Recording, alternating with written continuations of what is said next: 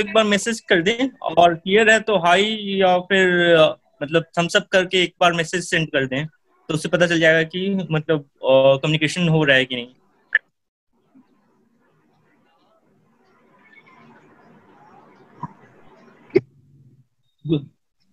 Good evening everyone I think जितने लोग भी आज सेशन में हैं, उन लोगों ने मतलब पहले और भी सेशंस जो भी करवाया है और आप आई ने उन आप लोग फॉलो किए होंगे।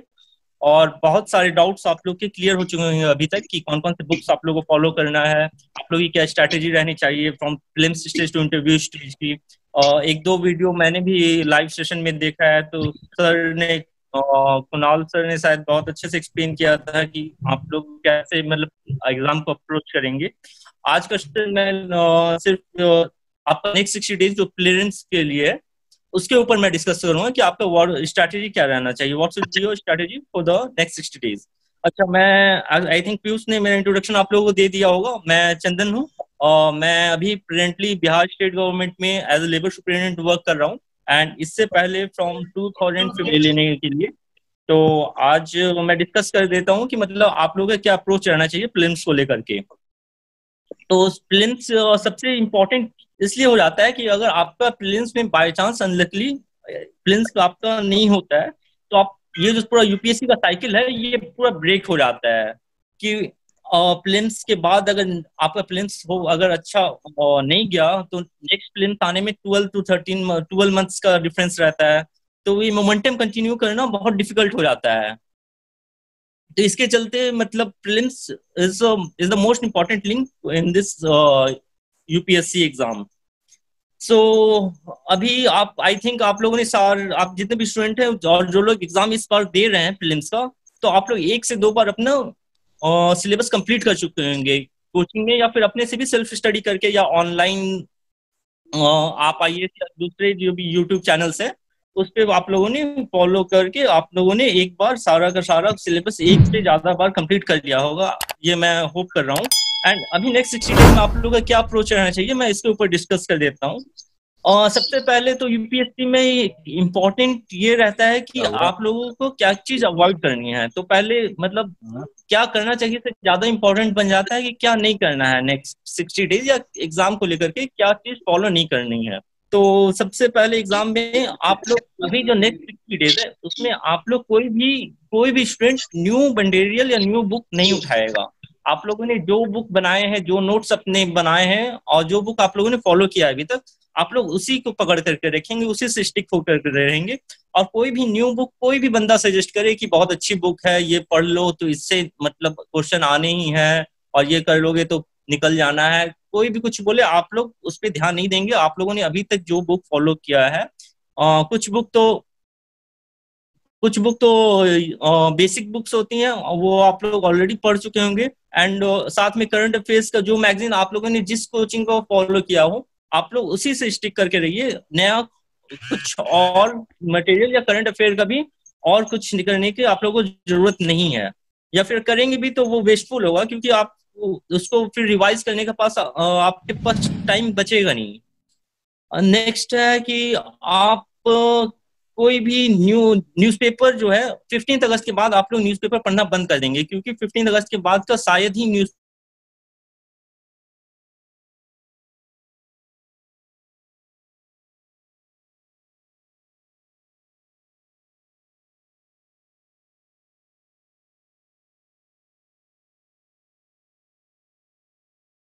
ऑप्शनल टच नहीं करेंगे। आप लोग का प्राइमरी फोकस प्रिलिम्स को लेकर के होना चाहिए नेक्स्ट टू मंथ्स में। सिक्सटी डेज़ जो भी आप लोगों के पास बचा हुआ है।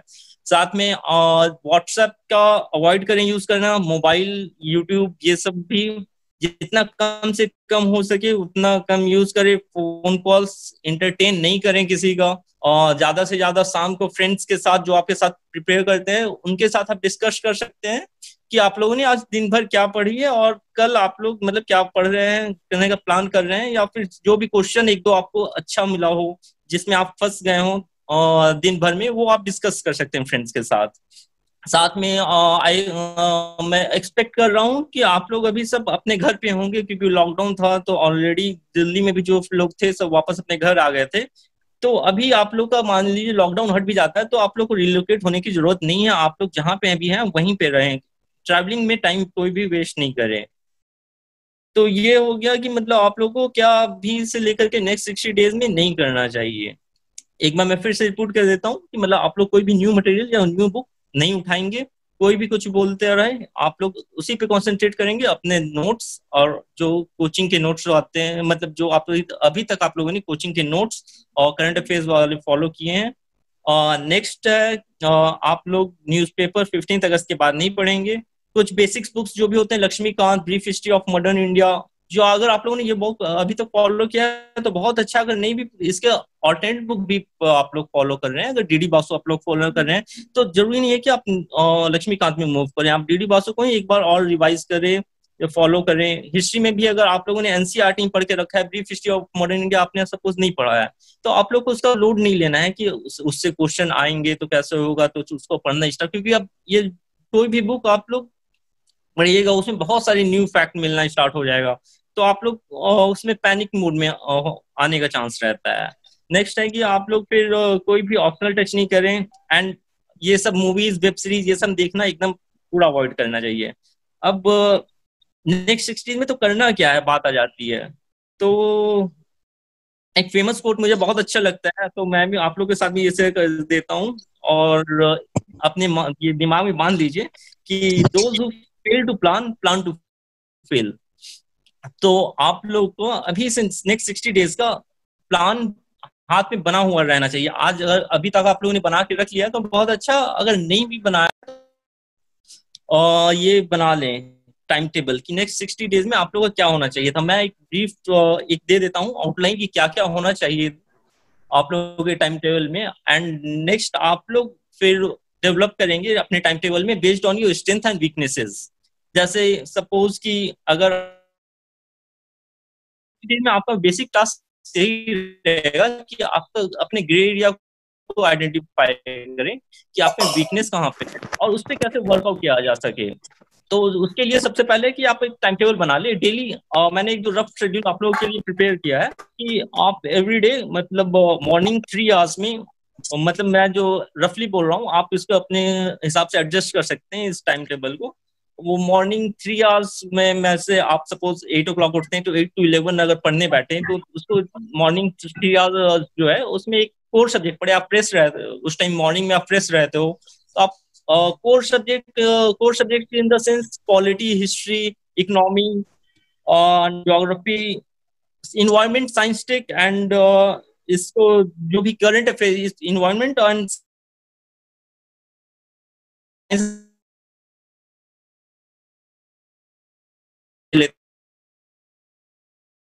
आजकल जितने भी जितने भी question last two three years में आ रहे हैं तो इन्वायरमेंट एंड साइंस टेक के मोस्टली करंट अफेयर्स से आप लोग को मिल जाएँगे। तो जब आप करंट अफेयर्स पढ़ेंगे तो आपको उसमें वो मिल जाएगा। तो मॉर्निंग का टाइम अगर मैं दे, ये देखते हैं उसको थ्री थ्री आवर्स का जो टाइम आपके पास मॉर्निंग रहता है आप उसको टू प्लस वन में डिवाइड कर लीजिए। फ़र्स्ट टू आवर्स में आप जो बुक रिवाइज कर रहे हैं वो करें। एंड नेक्स्ट आप तो जैसे अपने इन्वायरमेंट में आपको टाइम देना है कि आइडेंटिफाई करना है फ्री टाइम में बैठ करके कि कहाँ पे कौन सा, किस स्टेट में कौन सा नेशनल पार्क है वाइल्ड लाइफ सेंचुरी है। स्पेशली जो न्यू वन ईयर में कोई भी वाइल्ड लाइफ और नेशनल पार्क आइडेंटिफाई हुआ, कोई भी अगर स्पीसीज प्लांट की स्पीसीज कहीं पे पाई गई है तो आपको वो सर्च कर गूगल पे सर्च करना है कि वो कहाँ पे है, किस स्टेट में है या किस वाइल्ड लाइफ पार्क में है। देन अगेन सिमिलरली आपको आर्ट एंड कल्चर में भी सेम स्ट्रेटेजी अपनानी है। आपको भी रिलोकेट करना है कौन सा मॉन्यूमेंट कौन सा ये कोई भी फ़ेमस हेरिटेज प्लेस है यूनेस्को हेरिटेज साइट है तो वो किस स्टेट में है, कहाँ पे है और किसने बनवाया तो और स्पेशली फिर इंटेंजिबल हेरिटेज साइट्स भी आती जो यूनेस्को डिक्लेयर करती है वो सभी आप लोग फ्री टाइम में इसको आइडेंटिफाई करने का ट्राई करें। तो इससे ये हो जाता है कि आपका art and culture and environment prepare हो जाएगा और स्पेशली आपका लोड बढ़ेगा नहीं। नेक्स्ट आप जब ज्योग्राफी पढ़ते हैं तो उस टाइम ज्योग्राफी के जब भी आप पढ़े तो आप एटलस निकाल के रखे रखें और ट्राई करें उस टाइम जितने भी एक मैप ले लें और उसमें वर्कआउट करें। कि रिवर्स जितने भी हैं नॉर्थ ईस्टर्न रिवर्स हो गई, उसके लिए आप अलग एक दिन वर्क टाइम दीजिए। देन एक दिन साउथ इंडिया की जितनी रिवर्स है, एक दिन उसके लिए टाइम बैठ करके दीजिए आइडेंटिफाई कीजिए कि कौन रिवर्स कहाँ से निकल रही है, कहाँ पे एंड हो रही है ट्रिब्यूटीज उसके कौन कौन से हैं। सिमिलरली लेक्स एंड वेटलैंड तो मैंने बता दिया। लेक्स के लिए भी आप लोग फ्री टाइम जब भी आपको मिले इन बिटवीन आपके स्टडी आवर्स में तो आप ये काम कीजिए। मैप लेकर के बैठिए और उसमें आप ड्रॉ कीजिए ट्राई कीजिए कि नॉर्थ नॉर्मली वही आता है एग्ज़ाम में कि नॉर्थ टू साउथ अरेंज कर दो ट्रिब्यूटीज बता दो। सिमिलरली माउंटेन्स के लिए भी आप वही करेंगे। ऊपर में मतलब जब आप मैप लेके बैठे हैं तो साउथ की सारे माउंटेन मतलब ड्रॉ करें from north to south eastern Ghat के अलॉन्ग में वेस्टर्न घाट के अलॉन्ग में, और ट्राई करें मतलब उसको याद रखने के लिए कोई न्यूमोनिक्स डेवलप करें, जिससे आपको एग्ज़ाम में वो मतलब कुछ शॉर्टकट सा आपको याद आ जाए। ठीक है, अगर कुछ डिफिकल्टी आ रही है तो आप उससे कंसल्ट करें। मैं ट्राई करूँगा। जैसे मैंने एक दो बनाया हुआ था कि मुझे एग्ज़ाम में हेल्प करता था आता था। तो अगर आपको कोई न्यूमोनिक्स बनाने में डिफिकल्टी आ रही है तो आप मतलब जैसे नॉर्थ टू साउथ की अगर साउथ में आप हिल रेंज हो गया ईस्टर्न घाट या वेस्टर्न घाट साइड अगर कुछ प्रॉब्लम आ रहा है तो आपको उसको पीयूष के साथ शेयर कर दीजिए या मेरे साथ शेयर कर दीजिए। तो ट्राई करेंगे वर्कआउट करने का उसे कैसे याद रखा जा सकता है। सिमिलरली जितने भी आपके मरीन नेशनल पार्क है। तो वो सब भी, और आप लोग आइडेंटिफाई कीजिए कौन कहाँ मतलब कौन से साइट्स कहाँ पे हैं। देन उसके बाद फिर आ जाता है कि इंडिसेस वाला पार्ट करंट अफेयर्स में, जो कि हर साल एक दो इंडिसेस और वो आता ही है कि कौन से इंडिसेस कौन से ऑर्गेनाइजेशन निकाल रही है। तो उसके लिए आई विल सजेस्ट कि आप लोग वो एक लिस्ट बना लें और डेली उसको मगअप करने का ट्राई करें। Daily ten fifteen ten to fifteen minutes indices के लिए दें। क्योंकि वो पक्का है कि आपको दो, एक या दो क्वेश्चन आपको एग्ज़ाम में आना ही है और आप वो मिस अगर कर देते हैं तो वो एक मतलब बहुत बड़ा लॉस है आपके लिए। क्योंकि आप, ये इजी पिकिंग है। जितने भी सक्सेसफुल कैंडिडेट्स रहते हैं प्लेन्स से, वो लोग ये सब क्वेश्चन तो पक्सियोर सॉर्ट करके जाते हैं कंफर्म लेकर के चलते हैं। कि इसमें ये वाला क्वेश्चन वो कर, उनको करना ही है। तो इसीलिए आपका इंडिसेस वाला जो क्वेश्चन है जो इस तो वो आपका गलत नहीं होना चाहिए। तो आप कोई भी मतलब कोचिंग मटेरियल उठाएँगे तो आपको वो इंडिसेस आजकल मिल जाता है। तो आप एक उससे अपने नोट्स में लिख लें या फिर वहीं पे हाईलाइट कर लेंगे। बेटर है कि आप अपना नोट्स में उसे अलग कर लें एंड आप उसे फॉलो करते रहें। एवरी डे में every five to ten minutes आप उसे ज़रूर देंगे। क्योंकि वो श्योर मतलब इजी पिकिंग्स उसको कहा जाता है कि अगर आपको वो कंफर्म आता है तो वो आपके दो मार्क्स पक्के हैं उसमें। एंड सिमिलरली uh, जो भी न्यू ऑर्गेनाइजेशन है उसका वो भी करंट अफेयर्स में आ जाता है न्यू ऑर्गेनाइजेशन या फिर उसका कुछ भी डिक्लेरेशन हुआ है सेंट पीटर्सबर्ग डिक्लेरेशन टाइगर्स के लिए या फिर डिक्लेरेशन ये भी ये आप सब लास्ट टू इयर्स में जितने भी ये हुए हैं और रीजनल ऑर्गेनाइजेशन या इंटरनेशनल ऑर्गेनाइजेशन के जितने भी डिक्लेरेशन है ये सब है इसको भी आप नोट्स में बना ले। और सिर्फ़ जैसा कि मैंने बोला कि नोट्स आप में आप रिवाइज करेंगे इंडिसेस वाले को। सिमिलरली ये भी इंटरनेशनल ऑर्गेनाइजेशन को भी आप वो बेटर है कि आप नोट्स उसका बना ले एंड उसको एवरीडे एक दो बार रिवाइज कर, करते रहे। तो वो आपको काफ़ी हद तक ये प्रॉब्लम सॉल्व कर देगा कि करंट अफेयर वाला इशू आपको सॉल्व हो जाएगा। देन उसके बाद फिर आ जाता है आपका करंट इकोनॉमी वाला जो आपका करंट अफेयर्स है तो मैंने बता दिया कि आ, कोई भी कोचिंग मटेरियल जो आप अभी तक फॉलो कर रहे हैं विजन का 365 तो इसी में ही गवर्नमेंट स्कीम जितनी है तो इसे भी आप जैसे अभी नेक्स्ट जितने भी बच रहे हैं सिक्सटी डेज़ अभी आपके बच रहे हैं तो आप सॉर्ट आउट कर दीजिए कि फिफ्टीन डेज़ मतलब जो भी करंट अफेयर्स का, वो मुझे इकोनॉमिक इकोनॉमी देना देना है एंड नेक्स्ट फिफ्टीन डेज़ मैं फिर science tech next fifteen days environment and next fifteen days government scheme क्योंकि करंट अफेयर्स में बस यही चार इंपॉर्टेंट एरियाज़ बचते हैं आपको कवर करने के लिए। तो आप डेली अभी से टू आवर्स करंट अफेयर्स को देंगे एंड सिर्फ़ करंट अफेयर्स पढ़ेंगे नहीं उस पर बेस्ड क्वेश्चन आप कोई भी क्वेश्चन पेपर उठाइए मार्केट से या फिर जो आपको इंटरनेट पे अवेलेबल है I think forum I S and vision I S के क्वेश्चन पेपर मिल जाते होंगे ऑनलाइन टेलीग्राम ग्रुप में कहीं से उठाइए। एंड ये सब करंट अफेयर्स के क्वेश्चन उससे सॉल्व करके देखिए। एंड uh, अगर क्योंकि ये गवर्नमेंट स्कीम की हर साल आपको एक या दो गवर्नमेंट स्कीम से डायरेक्ट क्वेश्चन बन जाते हैं स्पेशली जैसे इस साल इसका इशू बहुत चल रहा है पीएम केयर फंड का या prime minister national relief fund का। तो ये भी जो लास्ट वन ईयर्स में काफ़ी न्यूज़ में आया हुआ है। तो वो सब का आप, आपको ईच एंड एवरी डिटेल पता रहना चाहिए। जैसे पीएम केयर फंड अगर हो गया तो सपोज़ इसमें एक लाइन अगर दे दिया कि इसको कैग ऑडिट करता है नहीं करता है वन एंड टू इस टाइप का तो ये सब आपको क्लियर रहना चाहिए। जैसे लास्ट ईयर आया था नेशनल इंफ्रास्ट्रक्चर इन्वेस्टमेंट फंड का तो उसमें फंड का पूछ दिया था कि क्वांटम ऑफ़ फंड जो फोर्टी थाउज़ेंड है, उसको वो लोग फोर लाख मतलब फोर थाउज़ेंड करोड़ दे दिया था। मतलब कुछ उसमें बहुत मिस इंटरप्रेट कर देता है डेटा में तो आप उसको याद रखना पड़ेगा। उसके लिए आपको थोड़ा डिटेल में इंफॉर्मेशन चाहिए होगा। तो थोड़ा डिटेल में आप कवर करेंगे गवर्नमेंट स्कीम जितने भी होगा। एंड डेली अभी से लेकर के नेक्स्ट सिक्सटी डेज़ आप लोग एवरी डे इवनिंग में एक एक मॉक ज़रूर सॉल्व करें। तो और मॉक करने के बाद तुरंत ही उसको एनालाइज करें कि आपका स्कोर कितना आ रहा है और किस एरिया में आपका मार्क्स कम आ रहा है। एंड नेक्स्ट डे ट्राई करें मतलब अभी से लेकर नेक्स्ट सिक्सटी डेज़ तक आप डेली एक भी मॉक सॉल्व करते हैं तो अराउंड फिफ्टी मॉक हो जाएगा रफली तो that will be sufficient that is around five thousand question आप लोग सॉल्व कर हाँ five hundred five thousand question आप लोग सॉल्व कर ले तो that is sufficient for your preparation तो मॉक मॉक देने से ये हो जाती है कि आपका डाउट क्लियर हो जाएगा कि मतलब कौन सा एरिया आपका, और एक कॉन्फिडेंस बिल्डअप होगा। क्योंकि जब तक आप मॉक नहीं देंगे, तब तक आप में रिस्क टेकिंग एबिलिटी आएगी नहीं। क्योंकि एग्ज़ाम में आपको जब क्वेश्चन पेपर मिलेगा तो there will be only thirty to forty question जिसका आपको डायरेक्ट आंसर पता है। नेक्स्ट आपको जो थर्टी फोर्टी क्वेश्चन अटेम्प्ट करने हैं, उसमें आपको मतलब थोड़ा सा रिस्क लेना पड़ेगा और थोड़ा सा रिस्क टेकिंग एबिलिटी जनरेट करने के लिए। थोड़ा आपके अंदर कॉन्फिडेंस बिल्डअप तभी होगा जब आप रेगुलर मॉक सॉल्व किए हैं एंड थोड़ा सा आपके प्रैक्टिस ऑलरेडी है। तो इसीलिए मॉक जब आप सॉल्व करते रहिएगा तो आपके अंदर तो कॉन्फिडेंस जाएगा कि हाँ चलो इस क्वेश्चन में सपोज़ आप हिस्ट्री आपकी अच्छी है तो हिस्ट्री में रिस्क ले सकते हैं। तो हिस्ट्री का क्वेश्चन आप अटेम्प्ट मतलब जो भी है, अगर एक ऑप्शन भी आपको उसमें एलिमिनेट हो रहा है तो थ्रू एलिमिनेशन मेथड आप उसको अटेम्प्ट करें एंड सॉल्व करें।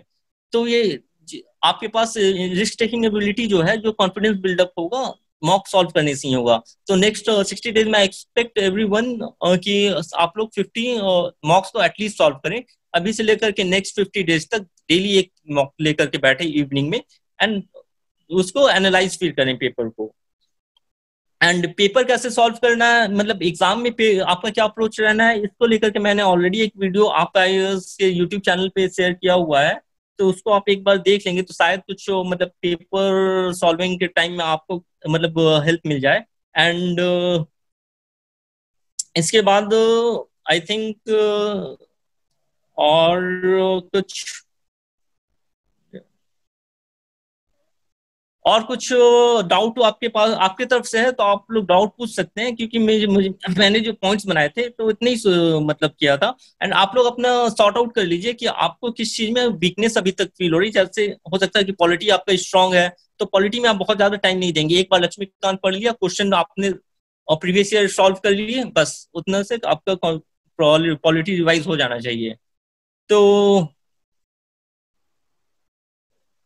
अब कोई है सलमान वो पूछ रहे हैं कि आ, कितने रैंक लेने से आई डायरेक्ट मिल जाता है? तो आई के लिए आपको I think hundred rank below रहना पड़ता है अभी के टाइम में क्योंकि सीट्स एवरी ईयर तो डिक्रीज हो रही है। तो अभी अगर जनरल कैटेगरी से आप बिलोंग कर रहे हैं तो हंड्रेड बिलो हंड्रेड आपका आना चाहिए रैंक बट अभी मैं मतलब आपको यही सजेस्ट करूँगा रैंक के ऊपर उतने ध्यान नहीं दी एग्ज़ाम के ऊपर फोकस करें। एंड uh, अगर आपका सारा कुछ ठीक होता है तो बेटर मतलब अभी इस चीज़ के लिए बेटर है कि आप एग्ज़ाम पे ही अभी फोकस करें प्लेन्स पे फोकस करें प्लेन्स के बाद मेंस स्टेप वाइज प्रोसेस है। इसीलिए अभी long time long term view point आपका आई बनने का भी है, तब भी आप एक एक अप्रोच एक एक स्टेप को फॉलो करें। अभी आप प्लेन्स निकालने पे ध्यान दें। नेक्स्ट आपका जब प्लेन्स क्लियर हो जाएगा तो आप मेंस पे फोकस करें देन इंटरव्यू पे। एंड सब कुछ अच्छा रहा तो आप आई ज़रूर क्वालिफाई करेंगे। तो और कुछ डाउट है आप लोगों की तरफ़ से तो आप लोग सेंड करें इससे चैट बॉक्स से। और मॉक टेस्ट किस को प्रिफर करें? मॉक टेस्ट में कोई भी, जो भी अच्छा जो दो तीन फ़ेमस कोचिंग इंस्टीट्यूट है इनसाइट्स है एंड इसका विजन आई है फोरम आईएएस है तो कोई भी दो कोचिंग का मॉक अगर आप उठा लेते हैं और उसे अच्छी तरह सॉल्व कर लेते हैं तो आई थिंक वो इनफ होगा। साथ में आप आई भी जो क्वेश्चन जो निकालते रहती है मॉक पेपर उसको भी ज़रूर फॉलो करें।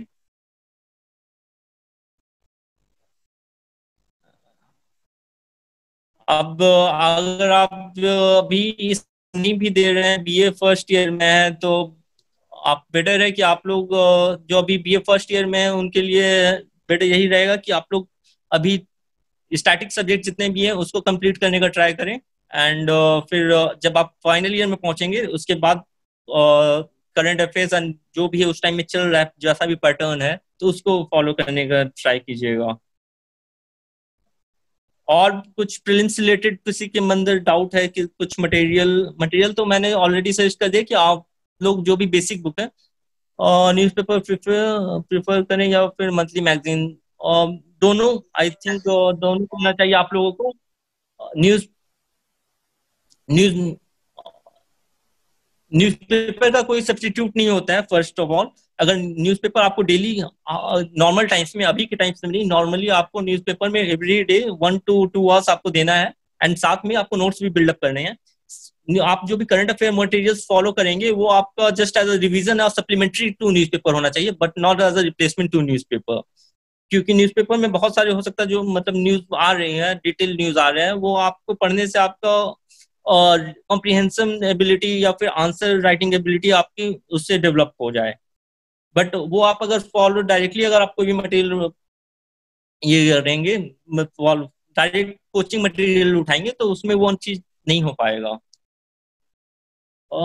सर बुलेट नोट्स किस तरह बनाए? बुलेट नोट्स आई थिंक आप एक एक कोई डायरी मेंटेन कीजिए और बेटर रहेगा कि जो सिक्स सब्जेक्ट्स नोटबुक आती है उसमें आप सब्जेक्ट वाइज ये बनाए करंट अफेयर्स का नोट्स बनाए। जैसे पॉलिटी का जितना नोट्स है, वो आप first one to fifty page में लिखे। एंड हाँ सी के लिए मैं बताना भूल गया था। अगर आप लोग नॉर्मली क्या होता है कि जैसे मेरा 2015 14 का प्री नहीं हो पाया था, उसमें मेन रीजन था क्योंकि मैं इंजीनियरिंग बैकग्राउंड से और मैं ओवर कॉन्फिडेंस था कि सी तो मैं कर ही लूँगा। बट जब एग्ज़ाम में बैठा तो सी मेरा पेपर इनकम्प्लीट रह गया तो मेरा वो तीन मार्क्स से सी के एग्ज़ाम में मतलब प्रिलिम्स से छूट गया था। उस टाइम दोनों के मार्क्स ऐड हो तो अगर आप आर्ट्स बैकग्राउंड से हैं तो ज़रूर उसमें फोकस करें। एंड लास्ट प्रीवियस ईयर्स के एग्ज़ाम से लास्ट uh, दो वीक टेन डेज़ पहले से लास्ट प्रीवियस ईयर के लास्ट फोर फाइव पेपर्स ज़रूर बना के जाए। और उसमें अगर आपका एट्टी टू नाइनटी क्रॉस हो जा रहा है तो आप कंफर्टेबली एग्ज़ाम में जाकर के स्कोर कर देंगे अब सिक्सटी सिक्स तो इसीलिए प्रीवियस ईयर पेपर ज़रूर बन, ज़रूर बनाए। एंड कॉम्प्रीहेंशन हर साल चेंज होते रहता है लेकिन उसके लिए भी आप आप कॉम्प्रीहेंशन प्रीवियस ईयर जितने भी पेपर हैं उसके कॉम्प्रीहेंशन को फॉलो करें। एंड uh, मैथ्स में कुछ भी डाउट डाउट होने से आप लोग अपने मैथ्स की कोई भी मतलब जो भी कंपटीशन वाली बुक है, ज़रूर उस पर थोड़ा सा फोकस कर लिए फॉर्मूला देख लें कि एग्ज़ाम में आपको वो चीज़ डिफिकल्टी फेस करने के लिए नहीं मिले, क्योंकि सिर्फ़ उसमें आपको 66 मार्क्स लाने हैं कभी कभी डिफ़िकल्ट हो जाता है लाना।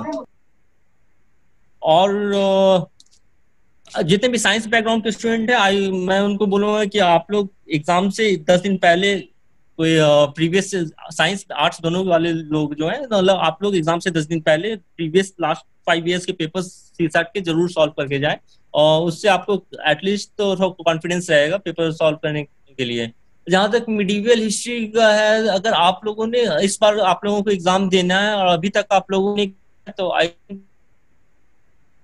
हिस्ट्री आप पूरी तरह छोड़ सकते हैं।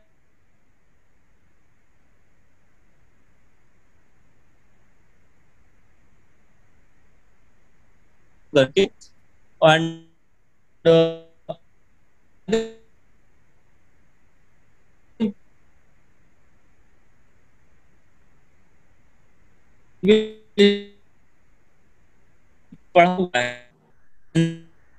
तो आप लोग फॉलो कीजिए।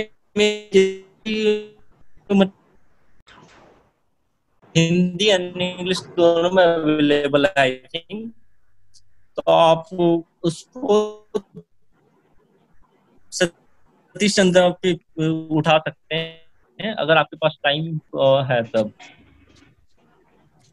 थिंक उसको अवॉइड कर सकते हैं। मेरा बीए में पॉलिटिकल साइंस है, और सलमान बोल रहे हैं, सलमान बोल रहे हैं कि बीए में पॉलिटिकल साइंस है political science English Hindi sociology history क्या अगर सब्जेक्ट ठीक है फॉर यूपीएससी हिस्ट्री बहुत अच्छा सब्जेक्ट है। आई थिंक उसका सबसे बड़ा बेनिफिट हो जाता है कि अगर हिस्ट्री आपका ऑप्शनल है तो उसका जनरल स्टडी में भी आपको बहुत वेटेज मिलता है। एंड हिस्ट्री में कभी भी स्कोरिंग जो है ऑप्शनल का स्कोरिंग वो बहुत ज़्यादा वेरी नहीं करता है, या बहुत ज़्यादा एक्सट्रीम नहीं टच करेगा। आपको, अगर आपका हिस्ट्री का पेपर अच्छा गया है तो 300 में आपका 280 290 मतलब अच्छे माना जाता है एंड वो नॉर्मली आता है स्टूडेंट्स का।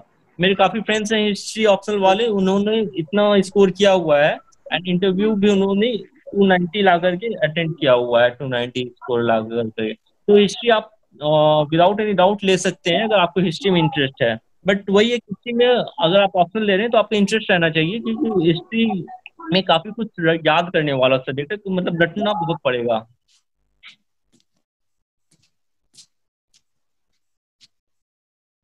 और प्रीलिम्स रिलेटेड डाउट किसी को कुछ और हो तो बताएँ। देखिए, जिसके भी प्रीलिम्स से रिलेटेड जो भी डाउट्स हो, सर से आप लोग पूछ सकते हैं। Sir is here to answer your doubts और जो है सर का मैं बताना चाहूँगा, बहुत लंबा एक्सपीरियंस रहा है सिविल सर्विस एग्ज़ाम से रिलेटेड शायद ऐसा देश का कोई भी एग्ज़ाम ऐसा नहीं रहा होगा, जो सर ने नहीं दिया होगा और जिसे क्वालिफाई करके मेन इंटरव्यू स्टेज तक सर ने नहीं पहुँचे हो। और वर्तमान में सर हाँ जो है, बिहार में लेबर सुप्रिंटेंडेंट की पोस्ट में भी हैं, जैसा मैं बार बार बताते रहा हूँ। तो जिसके भी डाउट से मुझे नहीं लगता कि प्रिलिम से रिलेटेड आपका कोई भी डाउट मेन से रिलेटेड कोई भी डाउट इनसे बेहतर कोई सॉल्व कर पाएगा, क्योंकि जो प्रैक्टिकल नॉलेज सर को है, उनसे ज़्यादा प्रैक्टिकल नॉलेज शायद ही मुझे लगता है किसी और व्यक्ति को होगी। तो you can ask your doubts जी भैया, आप कंटिन्यू कीजिए। अच्छा नहीं तो इतना ही बोलना था उस टाइम टेबल के बारे में भी कि सारे स्टूडेंट्स जो भी अभी नेक्स्ट सिक्सटी डेज़ तक एक मतलब टाइम टेबल फिर ये कर लें कि मतलब कितना टाइम किसमें देना है। एंड सर यूपीएससी की तैयारी स्टार्ट करते हैं यूपीएससी ज्वाइन करना चाहिए। नहीं यूपीएससी की तैयारी करते ही आपको नहीं करना चाहिए। फ़र्स्ट आप लोग को अपना ये करना मतलब सिलेबस कंप्लीट करना चाहिए एक बार थरली एंड एक बार आपने जब next three three four months जो भी आपका है, वो आपने कर लिया। तब आप सीरीज़ ज्वाइन कीजिए वैलिड करने के लिए। उससे पहले आप मार्केट से पेपर उठा लीजिए एंड मार्केट से पेपर उठा करके जो भी आप पढ़ रहे हैं मतलब सब्जेक्ट उसका आप सॉल्व करके देखिए। एंड साथ में प्रीवियस ईयर क्वेश्चन जो भी है प्रिलिम्स का, वो आप सॉल्व करके ट्राई करके देखिए। तो उससे आपको पता चलते रहेगा कि जो आप भी पढ़ रहे हैं, उसका आप मतलब एग्ज़ाम पॉइंट ऑफ़ व्यू से आप उसका कितना यूज़ कर पा रहे हैं मतलब knowledge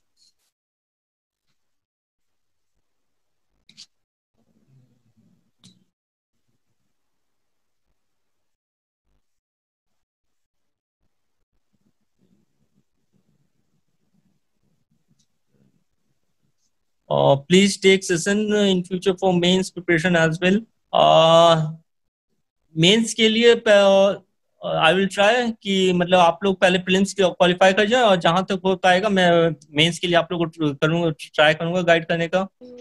इंटरव्यू uh, के लिए विच थिंग्स आर इम्पोर्टेंट अभी इंटरव्यू का टाइम नहीं है। अगर आप लोग uh, बिहार का इंटरव्यू दे रहे हैं तब मैं ज़रूर इसके लिए वन ऑन वन आपका डाउट क्लियर कर दूँगा इंटरव्यू में। कि क्या क्या होना चाहिए। अगर मैं इंटरव्यू का भी बोलने लग जाऊँ तो बाकी स्टूडेंट का टाइम वेस्ट हो जाएगा। No thank you so much okay thank you so much sir and and socio अगर किसी का ऑप्शनल है तो एक्चुअली मेरा सोशियो ऑप्शनल था और यूपीएससी में मैंने चार बार मेन सोशियो ऑप्शनल से ही दिया है। तो आप लोग अगर किसी का सोशियो ऑप्शनल है तो आप लोग को स्पेशली इंग्लिश लैंग्वेज में तो आप लोग पूछ सकते हैं सोशियो का डाउट मतलब आफ्टर दिस सेशन पर्सनली मेरे मैसेज करके। And UPSC prelims is sort of please guide UPSC prelims tough नहीं है बट uh, क्योंकि यूपीएससी का नाम ही है मतलब जो हम लोग आपस में फ्रेंड एज फ्रेंड से बात करते थे कि unpredictable service public service commission तो अनप्रिडिक्टेबिलिटी बहुत ज़्यादा है। Compare to state service UPSC में अनप्रिडिक्टेबिलिटी वाला फैक्टर है कि आप बता नहीं सकते कि इस साल अगर करंट अफेयर से मतलब ज़्यादा वेटेज दिया हुआ thirty forty question current affair से आए हुए तो नेक्स्ट ईयर भी थर्टी फोर्टी क्वेश्चन ही करंट अफेयर से आएगा ये फिक्स नहीं है। इस साल मान लीजिए कि हिस्ट्री से ट्वेंटी क्वेश्चन आपको दे दिया मॉडर्न हिस्ट्री से। तो ज़रूरी नहीं है कि नेक्स्ट ईयर भी आपको same twenty number of question history से मिलेंगे। तो वो चीज़ बहुत ज़्यादा वेरी होते रहता है। इसीलिए स्टूडेंट्स को थोड़ा टफ लगता है, क्योंकि वो प्रिडिक्टेबिलिटी वाला जो फैक्टर है, जो बाकी एक स्टेट एग्ज़ाम के साथ होता है यूपीएससी में वो फैक्टर है नहीं। तो इसीलिए बेटर है कि आप लोग सारे सब्जेक्ट्स को जितने भी हैं इक्वल वेटेज दिया। इसीलिए मैंने आपको सेशन की स्टार्टिंग में ही बोल दिया कि आप लोग अभी से नेक्स्ट सिक्सटी डेज़ में अगर फ़िल्म इस बार लिख रहे हैं तो सबसे ज़्यादा वेटेज उस चीज़ पे टाइम सबसे ज़्यादा टाइम उस चीज़ पे दें जो आपका वीक एरियाज़ है। तो यूपीएससी में पैटर्न भी चेंज होता है। यूपीएस पैटर्न तो जो पैटर्न क्वेश्चन पेपर का पैटर्न तो सेम ही रहेगा कि आपको हंड्रेड हंड्रेड क्वेश्चन है एंड टू मार्क्स का है। बट क्वेश्चन के टाइप्स जो है, वो थोड़े बहुत कभी कभी चेंज हो जा, हो जाते हैं, लेकिन मोस्टली जो भी सारे क्वेश्चन है, सारे मतलब आपको फिफ्टी सिक्सटी परसेंट जो क्वेश्चन है मोस्टली इनडायरेक्ट क्वेश्चन रहेंगे, जो मल्टीपल ऑप्शन के रहेंगे one only one and two only one two and three उस टाइप वाले। डायरेक्ट क्वेश्चन मोस्टली ज़्यादा से ज़्यादा आपको बीस से तीस ही डायरेक्ट क्वेश्चन रहते हैं। इसीलिए कोई भी चीज़ आप पढ़ रहे हैं तो उसका आपको थॉरो नॉलेज नॉलेज होना चाहिए। सर यूपीएससी सर आप यूपीएससी एग्ज़ाम सेंटर कहाँ कहाँ पड़ता है? यूपीएससी का एग्ज़ाम सेंटर कहाँ कहाँ पड़ता है? ये तो यूपीएससी के एडवर्टीजमेंट आपको क्लियर हो जाएगा। आप एडवर्टीजमेंट क्लियरली देख लें। सर हिस्ट्री एंड जोग्राफी में कौन सा सब्जेक्ट ऑप्शनल में ले लें, दोनों सब्जेक्ट मेरा इंटरेस्ट है, इसलिए थोड़ा कंफ्यूज है। विवेक कुमार पूछे हिस्ट्री एंड जोग्राफी में कंफ्यूजन से रिलेटेड दोनों अच्छे सब्जेक्ट्स हैं। और मैं सजेस्ट करूँगा हिस्ट्री अगर अगर आप आर्ट्स बैकग्राउंड से हैं तो हिस्ट्री सजेस्ट करूँगा, क्योंकि ज्योग्राफी में काफ़ी कुछ, थोड़ा साइंस रिलेटेड है। टेक्निकल थोड़ा हो जाता है समझने के पॉइंट ऑफ़ व्यू से। एंड उसके लिए आपको कोचिंग की ज़रूरत पड़ सकती है बट हिस्ट्री में अगर आप खुद से भी ट्राई करना चाहें तो आप खुद से भी प्रिपेयर कर सकते हैं एंड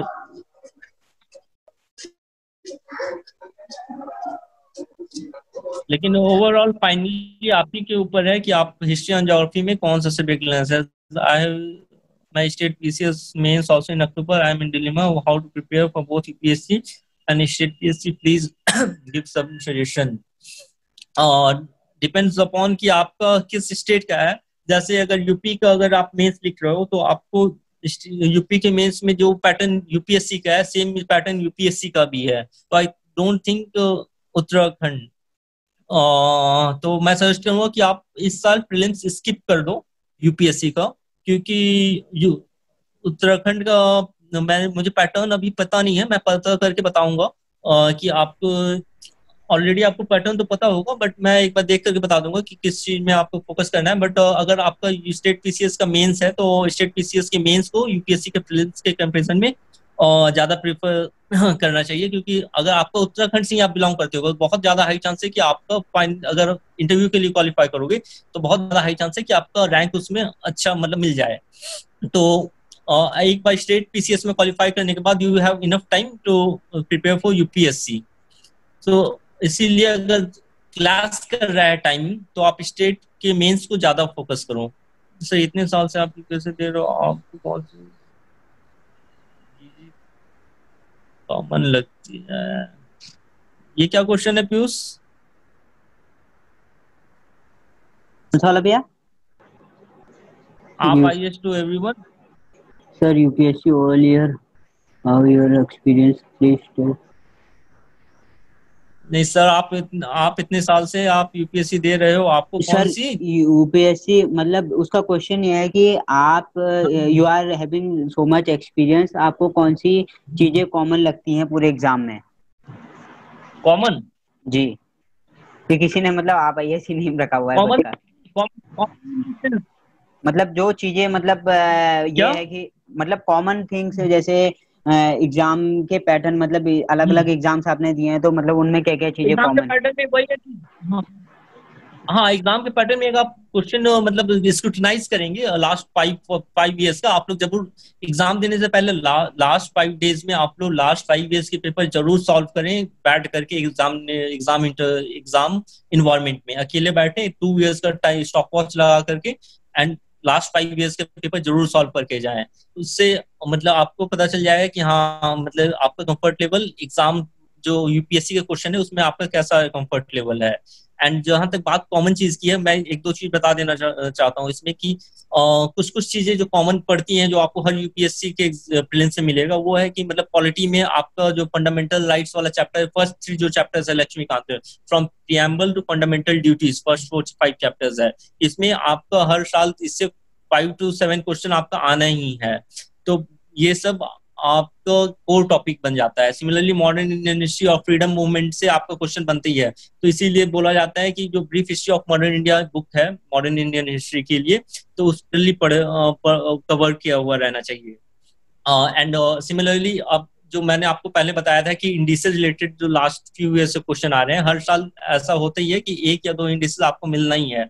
तो वो ये सारा एक कॉमन पैटर्न है, लेकिन इसके अलावा जो हो गया कि मतलब अनप्रिडिक्टेबिलिटी वाला फैक्टर ऑलवेज रहे एग्ज़ाम में एंड जो भी कॉमन वाला जो पार्ट है, वो सबके लिए कॉमन है, सिर्फ़ आपके लिए कॉमन नहीं है। तो अगर आप इसमें स्कोर करोगे तो ऐसा नहीं है कि यह आपको सिलेक्शन दिलवा देगा प्लेन्स में। क्योंकि नेक्स्ट जो मतलब आप कॉमन वाला क्वेश्चन कर भी लेते हो तो आपका स्कोर 80 टू 90 मतलब 40 क्वेश्चन ही ऐसे रहते हैं, जो आपको प्रीवियस मतलब जो आप बोल रहे हो कॉमन वाला फैक्टर है, कि हाँ मतलब जो पहले से आता है, जिसके लिए आप पहले से प्रिपेयर्ड हो। नेक्स्ट ट्वेंटी थर्टी क्वेश्चन आपको ऐसे करनी है, जो आप मतलब पहली बार इनकाउंटर कर रहे हैं, या फिर मतलब क्वेश्चन थोड़े कंफ्यूजिंग से हैं, जिसमें आपको थोड़ा रिस्क लेना है कि आपको फाइनल आंसर पता नहीं है बट आंसर में आप एक दो ऑप्शन एलिमिनेट कर रहे हो। अगर किसी भी क्वेश्चन में आप दो ऑप्शन एलिमिनेट कर दिए हो, दो ऑप्शन एलिमिनेट कर दिए हो किसी भी क्वेश्चन में तो वो क्वेश्चन आपको एग्ज़ाम में मार्क करना ही करना है। विदाउट सोचे, इतना सोचते हुए कि उसमें मेरा गलत होने का चांस है। गलत तो हो सकता है, लेकिन अगर आपका वो सही हो गया तो आपको उसका बेनिफिट अगर मान लो आपने ऐसे दस क्वेश्चन सॉल्व किए ten to fifteen question solve fifteen question suppose आपने सॉल्व कर दिए। ऐसा रिस्क लेकर के कि उसमें दो ऑप्शन आपने लिमिट किया और दो में आपने एक ऑप्शन मार दिया। तो अगर 15 में से अगर आपके सेवन गल, गलत भी हो गए तब भी आप बेनिफिट में ही रहोगे। तो आपको ये रिस्क ज़रूर उठाना ही है क्योंकि बाउंड्री लेवल के पास से जो होता है मतलब हंड्रेड से मतलब नाइन्टी टू हंड्रेड जो स्कोर है उस पे जाने के लिए सारे जितने भी क्वालिफाइड कैंडिडेट है वो लोग सारे मतलब मैं खुद अपने बता रहा हूँ कि मैंने जितने भी एग्ज़ाम लिखे हैं प्रिलिम्स का, मैंने सारे एग्ज़ाम में फिफ्टीन ट्वेंटी क्वेश्चन ऐसे ही मार्क किया है, जो मुझे आंसर क्लियरली पता नहीं है बट उसमें मैं एक से एक या दो ऑप्शन एलिमिनेट कर दे रहा हूँ तो उसके बाद में मार्क कर देता था विदाउट ये सोचे हुए कि वो मेरा सही हो रहा है या गलत हो रहा है। एंड फाइनली उसका बेनिफिट ही मिलेगा आपको एग्ज़ाम में।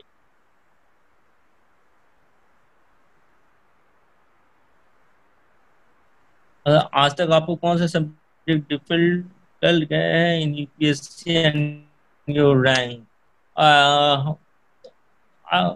सब, कौन से सब्जेक्ट डिफ़िकल्ट गए हैं? सब्जेक्ट तो at least prelims point of view से कोई भी उतना ज़्यादा डिफ़िकल्ट सब्जेक्ट नहीं होता है, क्योंकि प्रिलिम्स में मतलब सारे सब्जेक्ट का बेसिक्स ही आपसे पूछा जाता है। जहाँ तक बात ऑप्शनल की आती है, उसमें आपका इन डेप्थ नॉलेज चेक होता है तो अब डिफिकल्टी जो भी है आपकी तो आपको ऑप्शनल में इनकाउंटर करने को मिलेगा।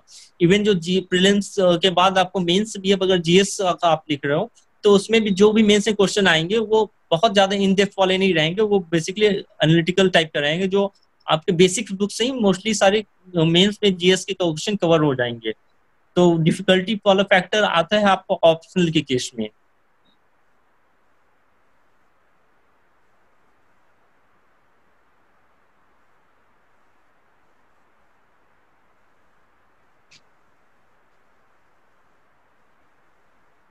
Any any more doubts? भैया मुझे लगता है कि लगभग सभी के डाउट्स हाँ। जो है एड्रेस हो चुके हैं। अगर किसी के नहीं हुए हैं तो वो क्वेरीज पूछ सकता है। हम्म। उसके बाद सेशन को लगभग छह बज गया है तो एंड भी करते हैं। लगभग लगभग हम्म, हम्म, लगभग सभी के डाउट मुझे लगता है कि एड्रेस हो गए होंगे। अच्छा कोई और डाउट्स है एग्ज़ाम को रिलेटेड फ़िल्म को रिलेटेड किसी भी पार्ट में आपको डिफिकल्टी फेस करने डिफिकल्टी फेस हो रही है तो आप पर्सनल मैसेज कर सकते हैं पीयूष के थ्रू कांटेक्ट कर सकते हैं। तो जाते जाते भैया के लिए कुछ लाइनें कहना चाहूँगा, चंदन सर के लिए कुछ लाइनें कहना चाहूँगा, जो मतलब मुझे लगता है कि आज सर जितने, जिस मुकाम पे हैं तो उसके पीछे एक बड़ा संघर्ष छुपा है। एक बड़ा जो है, उनका जो संघर्ष है, आदमी को जो होती है, वो सफलता दिखती है बट उसके पीछे का संघर्ष नहीं दिखता है। सर विशाखापट्टनम में जॉब करते थे, सर ने प्राइवेट जॉब के साथ साथ ये चीज़ें जो हैं, करी हैं और ये अचीव की हैं। तो सर के लिए जो है, मैं दो लाइनें कहना चाहूँगा। नींद आँखों में कहाँ आती है? मैंने ख्वाब ही इतने ऊँचे सजाए हैं। नींद आँखों में आँखों में कहाँ आती है? मैंने ख्वाब ही इतने ऊँचे सजाए हैं। कहाँ मिली है अभी खुशियाँ मुझे? कितने ही पल मैंने संघर्ष में बिताए हैं, कहाँ मिली है, खुशियाँ अभी मुझे, मैं कितने ही पल मैंने संघर्ष में बिताए हैं। मिलेगा मुझे भी एक दिन, ये आसमां यकीन है मुझे, ज़िंदगी में कितने अरमा मैंने इस ख्वाब पर लुटाए हैं, मैंने इस ख्वाब पर लुटाए हैं। तो सर, जो है, सर का संघर्ष हम लोगों के लिए एक प्रेरणा है। हम लोगों को सबको सर से प्रेरणा लेके जो है यूपीएससी सिविल सर्विस एग्ज़ाम की तैयारी करनी है। और मुझे पूरी आशा है जब भी हमें भविष्य में ज़रूरत पड़ेगी sir will be here to address our doubts और बीच में भी अगर ज़रूरत पड़ेगी तो सर सेशंस के लिए भी हमारे बीच में रहेंगे और इन्वायरमेंट या कोई अगर अदर सेक्शन शुरू करने की ज़रूरत पड़ेगी तो Chandan sir is always there to help us guide us तो सर एंडिंग रिमार्क्स के लिए मैं आपके पास छोड़ रहा हूँ कि बच्चों को कुछ एंडिंग रिमार्क्स आप दें। चंदन जी। जो एंडिंग रिमार्क्स में मैं जो स्टार्ट किया था मैं फिर उसी लाइन पे करूँगा कि those plan to fail fail to plan ठीक है तो आप लोग जो भी कर रहे हैं अच्छे से उसका प्लान कीजिए कि कितने टाइम आपको किस चीज़ पे देना है। मैंने स्ट्रिक्टली कोई भी टाइम टेबल आपको नहीं दिया है इसीलिए क्योंकि आपका आपका वीकनेस आपसे ज़्यादा और कोई दूसरा बंदा नहीं जानता है। तो ज़रूरी नहीं है कि जो स्ट्रैटेजी जो फ़र्स्ट टैंकर बिल जो लास्ट ईयर हुआ हो। अगर आप उसकी स्ट्रैटेजी फॉलो करोगे तो आप फ़र्स्ट रैंकर बन जाओगे। आप, आप फ़र्स्ट रैंकर तभी बन पाओगे जब अपना स्ट्रैटेजी खुद डिज़ाइन करो और खुद उसे फॉलो करो। तो मैं इसी पे एंड करना चाहूँगा कि ऑल द बेस्ट आप लोग को नेक्स्ट सिक्सटी डेज़ आपके लिए काफ़ी वैल्यूएबल है। आप लोग अच्छा से फोकस करके एग्ज़ाम पे प्रिपरेशन करें एंड uh, आप लोग अगर फ़र्स्ट टाइम आए हैं तो लक, आप लोग काफ़ी लकी हैं कि आपको एक्सटेंडेड टाइम मिल रहा है प्रिपरेशन के लिए लॉकडाउन के चलते। तो आप लोग उसका पूरा बेनिफिट उठाएँ और एग्ज़ाम में सक्सीड हो करके आप हमारा इंकरेजमेंट करें चैनल का और हमारा भी। ठीक है पीयूष?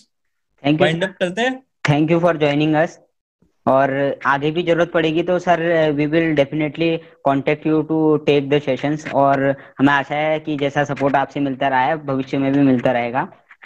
थैंक यू सर तो thank you all for joining us we will come back tomorrow with another session और सर का बहुत बहुत धन्यवाद अपने वैल्यूएबल टाइम से।